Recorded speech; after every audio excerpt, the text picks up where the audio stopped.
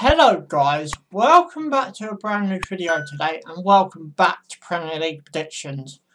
Premier League week 1 did go with the VAR and that made a real big headlines in the first week of, of being introduced into the Premier League. I will go across them points as we go through my predictions for week 2 so guys you know what to do, subscribe for more, thanks for watching and let's go. So the first game we're going to talk about is Arsenal versus Burnley. Now Arsenal obviously beating Newcastle 1-0. Burnley beating Southampton 3-0. Um, I was not expecting that result, um, especially what I've heard about Southampton this summer and what I've seen. Um, I was expecting maybe Southampton to get one or two goals, but yet again, VAR did play his part in the Burnley game. Um, not a goal I'm going to really talk about, but Burnley scored VAR, ruled it out for offside, I do believe. But obviously, VAR did get called more than once this week, so I will talk about a lot more of the other decisions. Um, but as far as this game goes, I'm going to give it to Arsenal, and I'm going to go for a 2-1 Arsenal win. My next one is Aston Villa versus Bournemouth. Aston Villa losing 3-1 to Tottenham after going 1-0 up. Bournemouth 1-0 with Sheffield United. Well, they make the same mistake Gary Lineker did. Um, Villa, I thought I did alright against Tottenham. I'm not going to lie. I thought when they went 1-0 up, whether it's, you know, um, a bit out, you know, a foul or, you know, um, I thought when I went 1 0 up and I was watching the game and uh, I thought Tottenham ain't going to get back into this. And then Tottenham got that one goal and then they got the second goal and then Villa just opened up. I've seen that a lot within the first few weeks of the Premier League and Championship League 1 and 2. Um, I think what teams need to do, teams like Villa anyway, is not to panic. Um, but as far as this result goes, I'm going to go for a draw and I'm going to go for a 1 all scoreline for that one. My next one is Brighton of Albion versus West Ham. Now, West Ham losing 5 0 to City, a few um, VAR points, but it's on the main City end, so I'll talk about that when I get to the Manchester City game. Brighton, on the other hand, did have their own um, VAR decisions. Um, one was uh, my, the ball hit Glenn Murray's arm uh, while jumping up from the free kick from Watford. Um, it hit his arm, but I think the reason why the ref didn't give it, and it's only my opinion, do feel free to express yours and comment and whatever down below. Um, I think because he had his arm rigid, as rigid as you can get, I think that's why I didn't give the handball to Glenn Murray. Um, Brighton's first goal, a lot of people saying it was offside. You cannot be offside from an own goal, which the first goal was. Um, but a great week for Brighton, great result. So going up against a West Ham side, who I've said I ain't going to mention too much about the VAR within the Manchester City game because I want to mention it when I get to the Manchester City game. So, but with West Ham, not picked up three points at the Amex so far since they've been playing down there and since Brighton's been up to the Premier League, obviously. Um, and I think Man City are going to be a bit scared with this one because they picked up such a heavy defeat against Manchester City. The next thing they're going to want to look at is Brighton attacking football and then West Ham go all guns blazing and Brighton just play slightly behind the West Ham back four, and then Brighton playing counter-attacking football. So with this one, I'm going to stick up for Brighton again, um, and that, and I will go for a 2-0 Brighton win. While I'm on the Brighton uh, side, just before I move on, um, I did get a comment. Uh, I was the only one out of a lot of people that predicted Brighton to beat Watford. Um, I know a lot of people say don't read a lot into pre-season, but ever since I've been doing this, I have looked at you know different teams in the Premier League, and the pattern of play is exactly the same. in a in a weird in a weird sort of way. So you know, but fair enough. Eh, you know, people you can predict what you want to predict, but I thought when I got that comment about Brighton, a lot of people reflect on last season, which you know, 80 days could change a lot. So let's move on. The next one is Everton versus Watford. Now, Everton, Everton, Everton, Everton um, lost, uh, didn't lose, they drew nil-nil with Palace. Red card, double yellow. Uh, obviously, is not allowed to be involved with the double yellow card. Um, as I've just said, with uh, Watford losing 3-0 to Brighton, uh, I did um, think Watford did not turn up on that game. Um, but Everton, I thought, deserved the three points against Crystal Palace, I'm not going to lie. Um, but where do I call this one? Um, I think I'm going to give it to Everton again, and I'm going to go for a 1 0 Everton win. My next one is Norwich versus Newcastle. Now Norwich picked up a 5 0, uh, sorry, a 4 1 defeat to uh, Liverpool, and Newcastle losing 1 0 to Arsenal. I ain't going to get bogged down with the Arsenal goal, do that when I get down to Arsenal. But one thing I'm going to say about this game, I am going to throw it in Norwich's favour, and I'll tell you the result in a minute, and I'll tell you why I'm going to do that. If you did watch the Newcastle Arsenal game, their back line was leaving so much space in behind.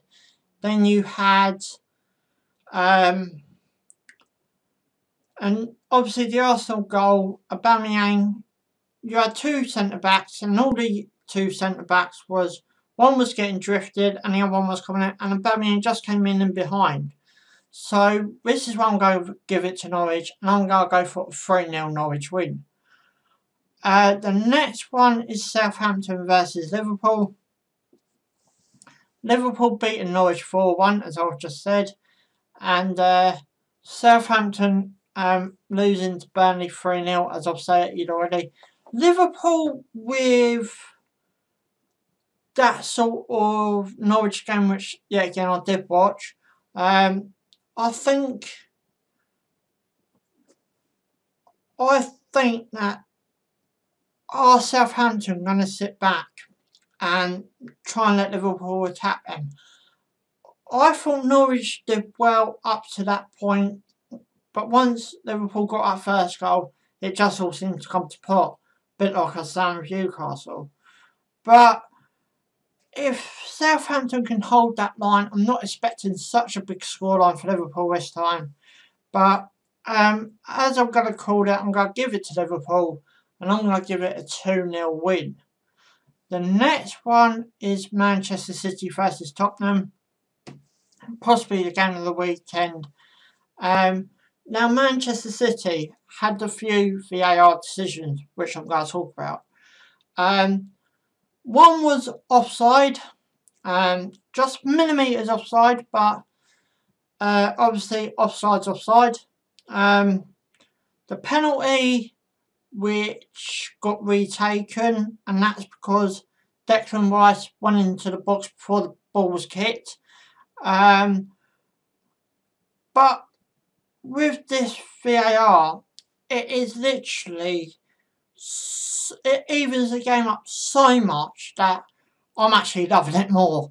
Um, I know probably a weird thing to say, and you can call me what you like, but I like my games to be so evenly matched that, you know, 250 million ain't going to show, or, you know, something else ain't going to happen, or, you know, all these things that happen. And the match officials have to be so tight and so together. Um, obviously, if you support a lower league club and you go up against, say, Manchester City, for example, you're you see the referee mostly in favour with the top clubs. Um, but with VAR, they can't do it as much because the, the FA would see it and then it go on, to, you know, on Teddy and the it would just be a big saga for the Premier League and the FA. So that's what else I'm liking about it as well. But Tottenham beating uh, Villa 3-1, I've stated that I've been on this game far too long. So I'm going to call this one a draw and I'm going to call this one a 1-all scoreline. The next one is Sheffield United versus Crystal Palace. Sheffield United drawing with uh, Bournemouth, uh, Billy Sharp goal, 1-all. Um, and Crystal Palace, as I've already said, uh, you know, drawn with Everton. Um, now, with Crystal Palace not starting Wilfried Zaha in that Everton game, I thought that was a very bold move by Crystal Palace. Um, Sheffield United went from the start. Um, but where, if you're a Crystal Palace fan, please feel free to comment. Where do you go with this Wilfried Zaha saga? Do you sit him on the bench? Do you start him? Do you... I mean, when I was looking at the lineup, I was like, what are you doing? But that's just my opinion. Um, but you've got, you know, and um, so, you know, where do you go with it? Let me know. Um, but because of that, because of leaving Zaha on the bench, I'm going to call this one a draw. I've just made my mind up. I'm going to call this one a draw. And I'm going to call this a nil-nil scoreline. The next one is Chelsea versus Leicester. Now Chelsea losing to United 4-0. And Leicester drawing to Wolverhampton nil-nil. Uh, yeah, nil-nil. Um, Yet again, that VAR decision, which I'll get on with Wolves, because I've got to do Wolves United in a minute, but I'll talk to you about that in a minute. Chelsea losing 4 0 to Manchester United. Are you joking? 4 0. I know your Chelsea fans probably, you know, screaming at the screen, but I thought yet again Chelsea were good up until the point United scored that second goal more than the first. They got that second goal and Chelsea just opened up. I mean, to be honest, way, way Chelsea were looking after that second goal, you could have got Laurie in there. But, you know, this is what I'm saying about opening up. You need to stay calm, stay proposed, and just play the game. Um, but Frank Lampard, I wouldn't say an easier game because there is no easy games in the Premier League but an easier game. Um, so with this one, I'm going to give it to Chelsea again. And I'm going to go for a 2-1 scoreline for that one. My last one for this weekend, and I've already said their names, is Wolves versus Manchester United. Now, Wolves had an offside goal, uh, not an offside goal, and a goal disallowed, sorry, thanks to VAR. Um, you know, we all know the rules. Um, I definitely know them because I've read up on them quite a lot throughout the summer. Um, if the ball touches your arm um, and it's out like that or wherever, um, you know, if it's flaking about as I like to call it, um, the goal will be disallowed because it's controlled by your arm. Um, Now, this is a question to all you fans. Would you like to see that changed? Uh, I can see what Wolves' argument is, but the rules are rules. Um, I've seen a lot of comments over it. Um, you know, with people saying it's a bit like breaking the speed limit. You know, you're in a 30 mile zone. You go 31, 32, you still get flashed. Um, so, you know, it's the same sort of thing. But rules are rules. Um, very hard done by Wolves goal disallowed, I, I will admit. But I can see why they disallowed it. Um, going up against Man United, as I said, beat Chelsea 4-0. Um, I'm not expecting an easy ride for Manchester United this time round. But because Wolves have got to play in Europe, I am going to stick up for Manchester United. And I'm going to go for a 2-1 scoreline for that one. But anyway, guys, I'm going to bring this video to an end. Guys, you know what to do. Give us a big fat thumbs up if you enjoy it. Subscribe for more. Thanks for watching. Ciao for now.